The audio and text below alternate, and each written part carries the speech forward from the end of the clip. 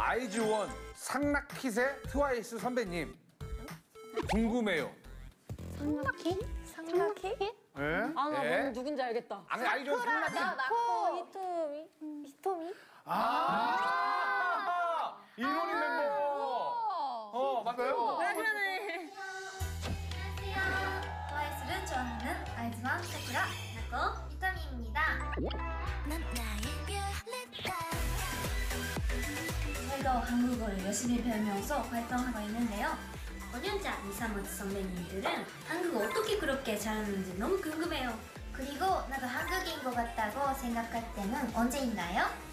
아, 외국인 멤버들이 또 외국인 멤버 선배님들한테 질문을 내네요. 재밌다, 재밌다. 자 미사모츠. 예. 아이즈원이 트와이스 성덕이래요.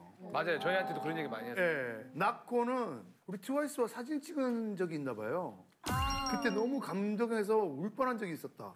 처, 처음 막 갓 데뷔하고 네. 저희도 활동하는데 그게 겹쳤었나 겹쳐가지고. 그래. 맞아. 가지고 어, 거의 뭐 응, 다 같이. 와, 진짜 성덕이네.